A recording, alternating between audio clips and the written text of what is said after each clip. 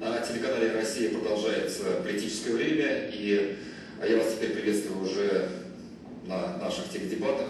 Сегодня у нас в студии представитель партии ЛДПР Антон Ищенко, кандидат в депутаты от партии ЛДПР, и э, партия КПРФ сегодня представляет Ольга Николаевна Алимова. Добрый день. Ольга Николаевна, вы очень любите говорить о достижениях в советскую эпоху, и порой КПРФ, не стесняясь, присваивает эти достижения себе. Но готовы ли вы взять ответственность за а, судьбы людей, расстрелянных и сгнивших в сталинских лагерях. Вы знаете, вот, вот сейчас только с вами говорили, как вы любите задавать вопросы, как передергиваете.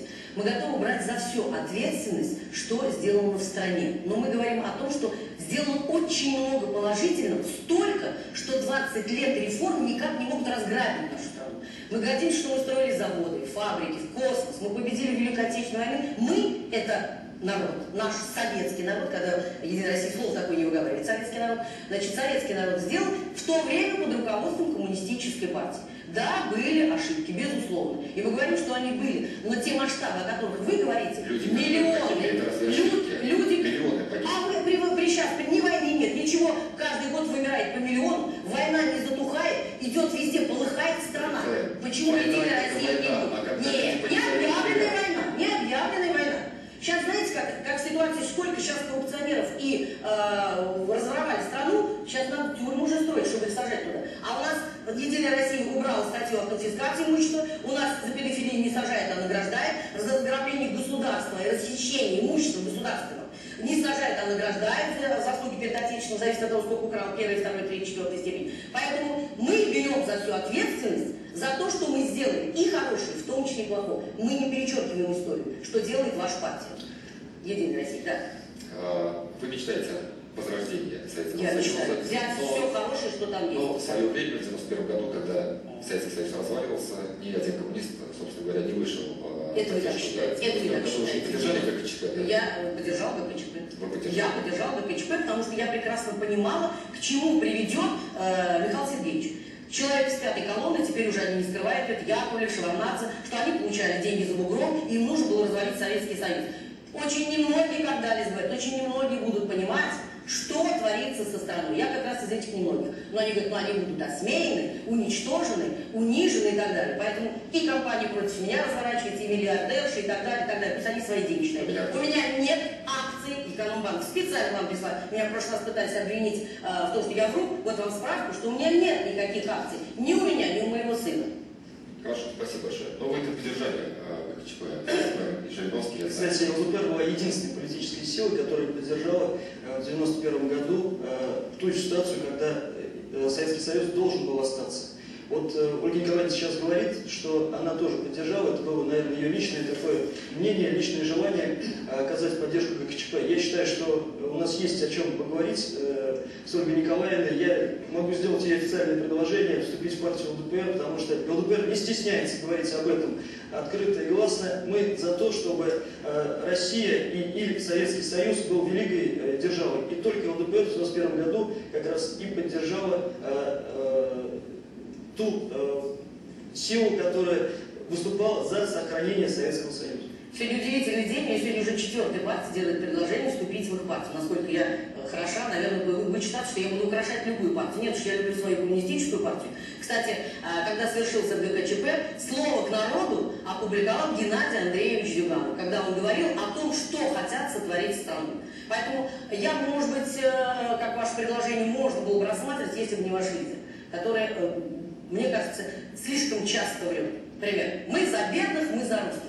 Ни разу в Госдуме он не проголосовал ни за бедных, ни за русских. Как вы это вот расцениваете? То есть он говорит одно, причем красиво, но... Ну, это общие слова, я считаю, тут говорится так. Ну, по закону, я смотрю, как голосует э, Единая Абсолютно беспочвенное обвинение. А это филиал. Только ЛДПР выступает как раз за простой И у нас самая сейчас э, профессиональная команда. Только э, в нашей партии сейчас э, есть те люди, которые смогут повернуть жизнь в, в лучшую сторону. К сожалению, время КПРФ уже ушло.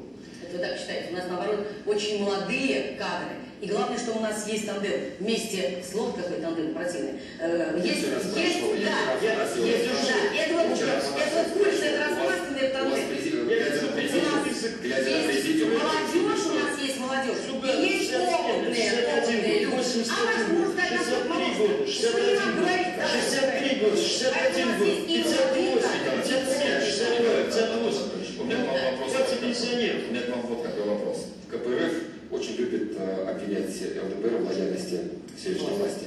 Ну, собственно говоря, Владимир Вольфович э, Жириновский отвечает. Все-таки кто же из вас оппозиции тогда настоящий? Оппозиции, конечно, коммунисты, коммунистической партии. Вот, опять возвращаясь, э, выступает Жириновский. Как бюджет распределяется, на республике много денег, а на русские регионы денег нет. А почему же тогда всегда голосуют за то, что предлагает Единая Россия, отдать эти деньги на регионы э, в республике? Абсолютно неверная у вас Как? позиция. Я же вижу результаты Да вы видите, вы посмотрите, все последние годы мы голосовали против этого бюджета. Ну откройте статистику, же сегодня специально готовилась, голосует против бюджета. И мы голосовали против бюджета на 12 год, 13 и 14. Потому что мы видим, что это антинародный бюджет. 12 год бюджет ужасный, ужасный. Единая Россия предлагает, Вы если вы не поддержите, мы, мы будем только рады, предлагает снизить социальную составляющую, увеличить деньги на полицейщину, увеличить деньги на правоохранительные органы и на МЧС. То есть такое впечатление, что у нас катастрофы будут каждый день с утра до вечера, и поэтому туда деньги бросаются, не чтобы решать ситуацию. Поэтому ну, очень хорошо, что вы исправились и будете голосовать против. вы не справились, мы 22 года работали именно так. Ну я, давай, вот специально в следующий раз принесу тебе результаты голосования. Николай, Они все есть вот, понимаете, есть э, хороший законопроект, есть Есть хороший. законы, есть хорошие предложения. Есть. Нельзя быть все время как Баб Яга из того мультфильма «Против». Понимаете, Хороший, когда... я поверю. Ну, может быть, я не возражаю, да, вы мне как симпатичны, как человек. Нельзя быть с такой бабой Егой. Ну, вот, э, сделал, предположим, Грищенко дорогу в затоне. Разве это плохо? Я считаю, что это хорошо. Да? Давайте поставим ему плюс. Но когда мы видим, что они дорабатывают, когда есть э, законопроекты, которые идут в разрез с интересом народа, в разрез в первую очередь с интересом русского народа, и ЛДПР всегда голосует против.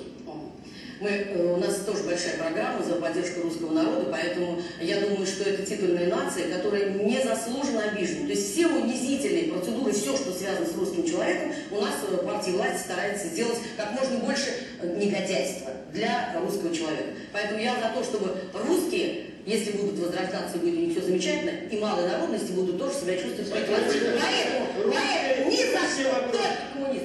За то, что в законе он сделал дорогу, он за это зарплату, между прочим, получает. наверняка. Поэтому они сделают вот, вот столько и пиарят с утра до вечера, они сделают. А тогда, если они будут делать, за что они будут деньги получать? Смотрите, политтехнологи из партии КПРФ похожи на, на доктора, который стоит о вашем и пытается электроды втыкать. Получается такого своего рода Франкенштейн. Почему это? Вот частную Ты считаешь, собственность. что ладно, ладно, Частную собственность вы же уже поддерживаете. Чего? Частную собственность вы уже поддерживаете. Почему? Уже мы и поддерживали, но все должно быть разумных пределах.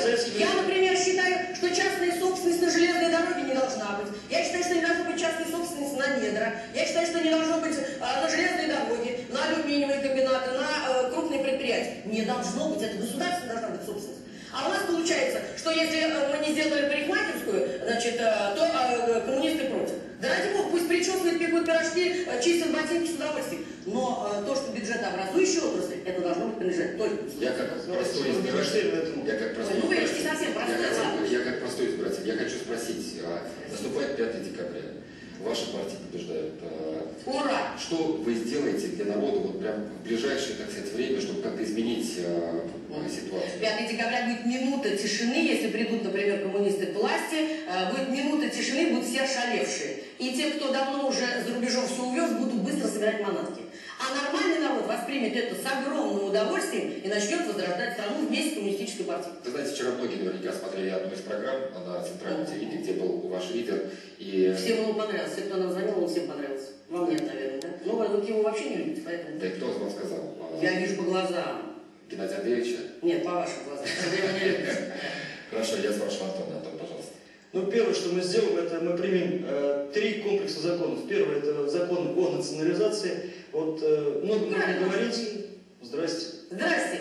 А это, а национализация закона... Все природные богатства это должны принадлежать народу. Кроме этого, табак, спирт.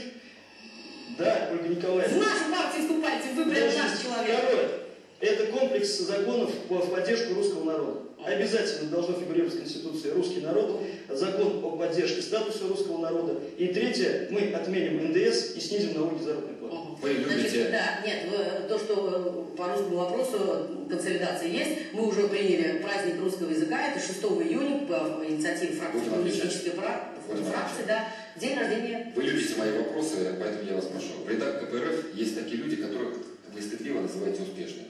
Вот. Но избиратели, о них навряд ли узнают э, ваша агитация. К примеру, Сергей Муравленко, первый номер Белгородского списка, экс-сотрудник ЮКОСа. В прошлом году его доход составил 426 миллионов рублей. Или, допустим, еще один олигарх, Александр Куликов, второй номер в Нижегородском списке. Поистине владелец заводов, проходов, газет и так далее. Его заработок за год 334 миллиона рублей. И таких успешных людей ваших списках... А вы считаете, что все успешные люди должны быть только в партии Скажите, России? Богу, что они к нам пришли. Николаевна, но как же так? В рядах коммунистов, капиталистов, где рабочих? И у нас и рабочие. У нас есть рабочие. Это у вас просто вы выбрали, выдернули вот двух человек, которые Опять у вас... передернула. Конечно, конечно. Вы бы называли очень хорошо, что бизнес, в том числе и крупный бизнес, понимает, что только Компартия может спасти страну. Они пришли к нам, и мы готовы и то же самое. Есть помогаете. олигархи у вас, у нас приличные люди, У вас, я не могу состоят. Твои единая Россия. Ты прям уже не знаешь, как ее расцеловать. Спасибо. Да.